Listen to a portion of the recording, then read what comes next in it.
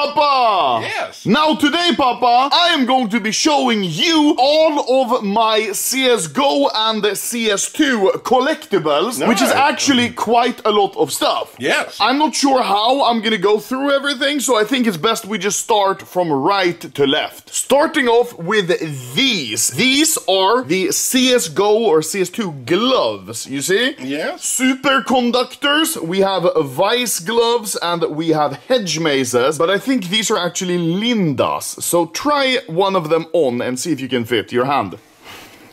They're good. Yes, vice gloves. Yes. Next up, Papa, this is kind of a weird thing. I wasn't sure if I should include it because I got this one as a gift from Blast when we went to the Blast Fall Finals event, and that was their attempt at making a, uh ski mask for me. So try it on, please. It's a very good ski mask. Yes, yes, very. Hello, guys. Hello, guys. Nobody will recognize me now. Now, very cool uh, mask. Yes. Now, next up, Papa, is actually this huge sign by Skins Monkey, which kind of isn't CS, but it still is CS, and I think it's very cool. And also, they are actually the sponsor of this video, which Yes. is cool. Nice. So take it away, Future Anomaly. They're one of the best and easy to use trading sites for CSGO, and it's perfect for switching up your inventory to play with new skins, especially now for CS2. And by clicking the link in the description or using code ANOMALY, you get a deposit bonus of up to 35%, which is insane. And if you're making your first trade, you can also put code ANOMALY and you get up to $5 for free. Plus, they've got many nice extras like freebies for free skins and free balance and 24-7 support. So if you want to try them out, then please do so from the link in the description. And thank you once again, Skins Monkey, for sponsoring this video. Whoa, very cool, Papa! Ja. Oh. Now, yeah. now, next up, Papa, we have this thing. It is a chicken. It is a chicken. From Counter Strike, and it's officially licensed by Valve and Counter Strike and everything. You can see Counter Strike. If you turn him inside out, he turns into a neck pillow for when you're flying. So yeah, this this is like a weird thing, but of course I wanted to include it because he is so fucking cute. Next up, Papa, on the subject of uh, sponsors, look at this. We have a Skin Baron with a custom name tag for me. That's very cool, right? And these are very uh, rare, like hard to get. Only the top sellers, and uh, I think some people who work with them get these, which is very cool. In this box, also, Papa, we have another Baron figure. This one is actually, in my opinion, just as cool. And you can see it's written by the creator under here, Andreas Miller, number one, and this one, Andreas Miller, number three. So these are actually very, very cool. This one features the Baron standing on a case with a karambit fade. Let's see if I can zoom in. There you go, you see? Very nice, and it's super detailed, actually. I don't know how he does it. I'm not sure if you've noticed already, but I love these, like, uh, memorabilia from sponsors I've worked with, which is really cool. Next up, Papa...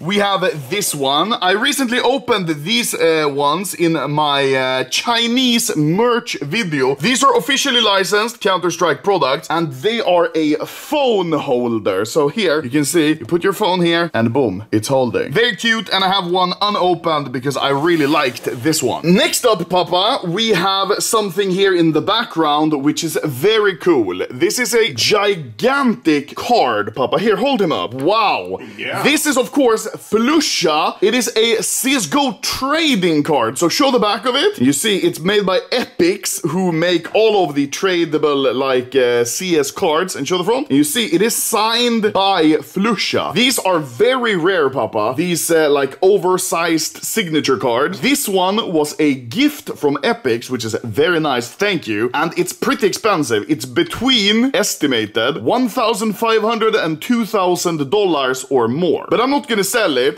Stop! But I'm not gonna sell it because it was a gift. Yeah. But it is very cool. Also, you know, Flusha, Swedish player, very cool. Crispy signature mm. by Flusha. But more on signatures later with cards you can see over there. Because next we have these ones. These are small patch packs which contain the Silver Legendary Eagle Master Supreme and Global Elite and also were from the Chinese Perfect World merch shop and they look like this, which is pretty cool. These are not, you know, worth anything, but but I think it's pretty cool nonetheless. Next up over here, Papa, all of the available plushy knives you can see. It's a Karambit Fade, you have Skeleton Fade, another Karambit Fade. I actually bought two. Karambit Case Hardened Blue Gem, Karambit Tiger Tooth, Butterfly, Crimson Web, and M9 Bayonet Crimson Web. This one by far looks the goofiest.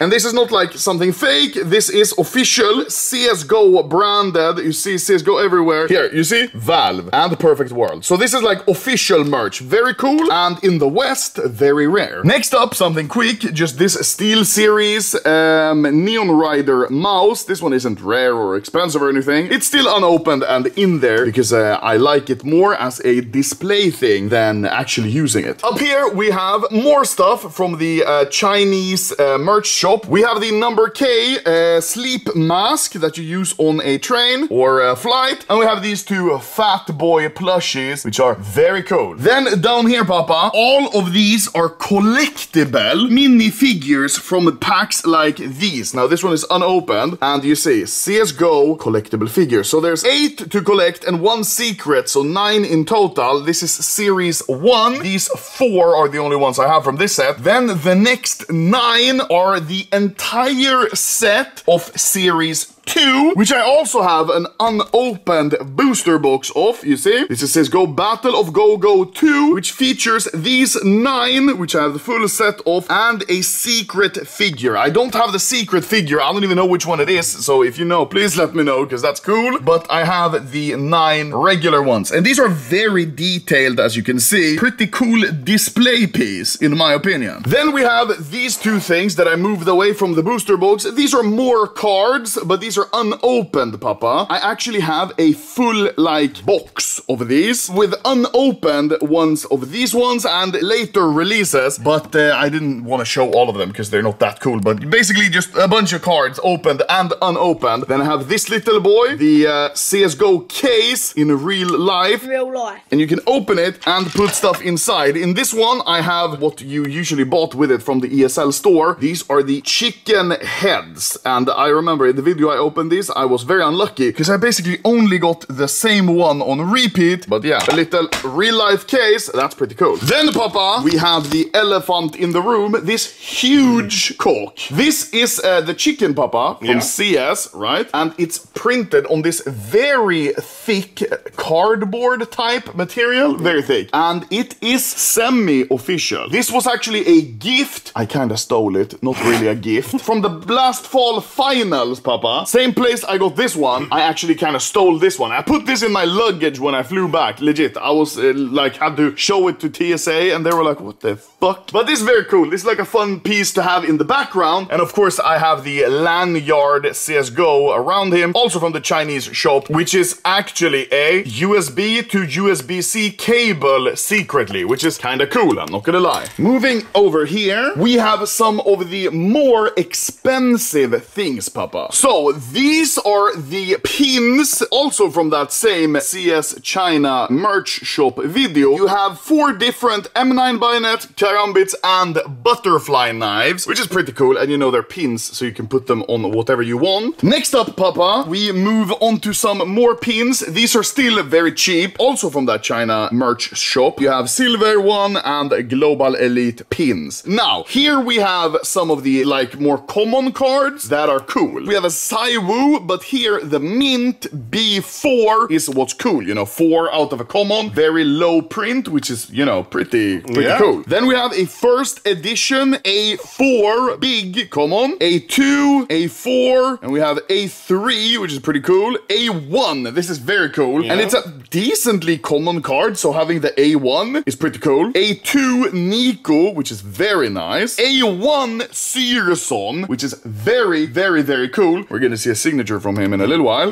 Then we have this one, Simple Goat card. I think I have a couple of those, yeah. Oh, I have more than a couple. I have four, four of them. Five of them.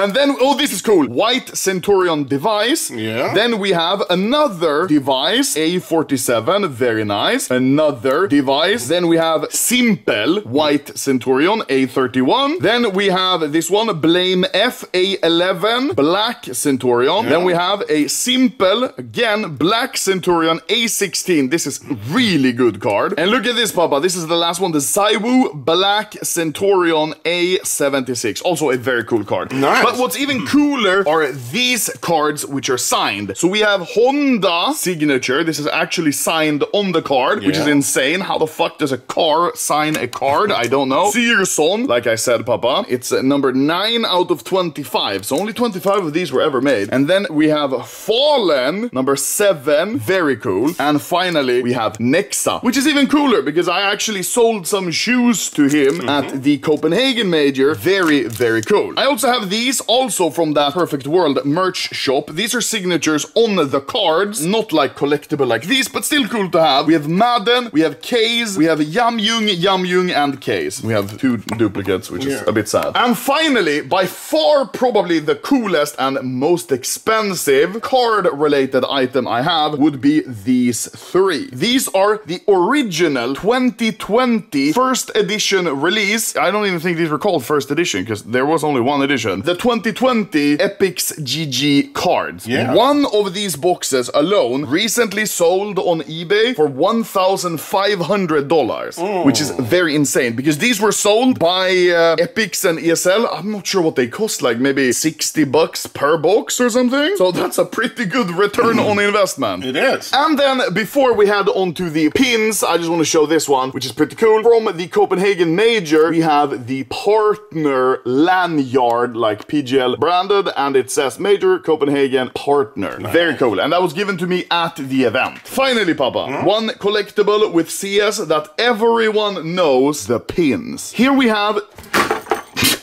here we have, Papa, the first release of pins, genuine pin collection number one. We have the two reds, two pinks, three purples, and four blues. Of course, these came with the codes and everything, but that's sick. Then we have pin collection number two, which is this one. Of course, also fully finished, completed. And then pin collection number three, we have the Howl pin, which is one of the cooler ones to have in real life by far. And of course, it's also completed. You see, these are all the pins from all three of the general release collections. Yes. But, Papa, that is not it, because I have some very, very cool pins. Okay. And that's starting with these four pins released at the 2024 CS2 Copenhagen Major, which you got if you attended the Major. These are pretty common because a lot of people attended the Major, so a lot of people will have these, but it's very cool to have all four of them, right? Very cool. Very. But did you know there's actually a secret hidden fifth pin given out at the Copenhagen Major, which looks like this? You have the two different colors and it says CS, like the uh, first day pin right here. But instead of the Royal Arena, we have the city of Copenhagen. Very beautiful. Now, this was only given to staff at the event, which is why it's very rare. But because I know a plug, he actually uh, is going to ship me his own one, which is really sick. So I can complete the collection. It's in literal shipping on its way to me. That's why I'm displaying it on my phone. But that's cool. I bet a lot of people didn't know about that fifth pin. And finally, the uh, coolest collection of pins that I have are these. Now, as you may notice, these are on their own special board because, uh, and also they're spaced out very a lot because they are very expensive. Starting off with the Jönköping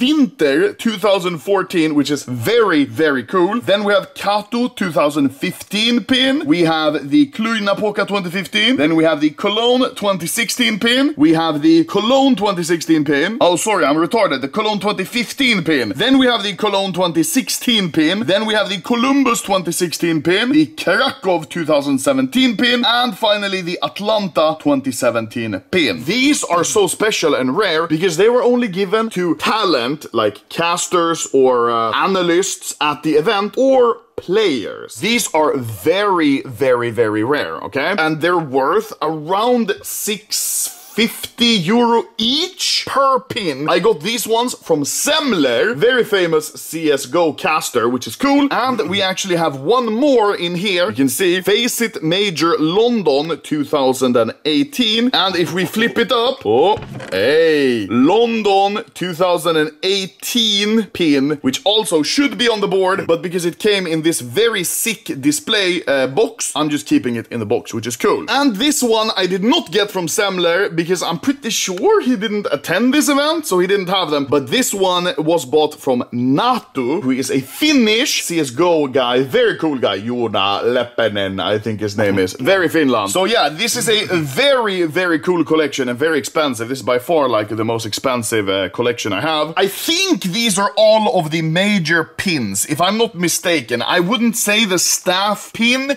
is on the same level as these older pins, but if there are other pins that I'm not aware of, then please let me know. Even with these pins, most people don't know that they exist. If you know that one pin exists, that is from a major, not like, oh, from, we, we got this in, uh, in, in Dallas. It's from the event where six people attended. no, it needs to be from a major, which is official, because then it is connected to Valve, which is very cool. It doesn't actually say Valve on the back of them, which is a bit sad, but it's still very cool. So yeah, Papa, Yeah. that is my collection of uh, CS and CS2, CSGO related things. Some very cheap, but very cool, and some very expensive, but very stupid. Oh, also, shit, I have a CS hat. I forgot about it. Wow, Yeah. so cool. But I think this about sums it up for my Counter-Strike collection. It's definitely gonna keep growing now in CS2 because they're gonna keep releasing a lot of stuff. Every major is gonna have pins, they're gonna have more exclusive stuff, and hopefully we're gonna get a store similar to how the Perfect World has their store with a bunch of cool and exclusive items. Yes. Very cool, Papa. Very cool. And thank you guys for watching. Very nice. Thanks.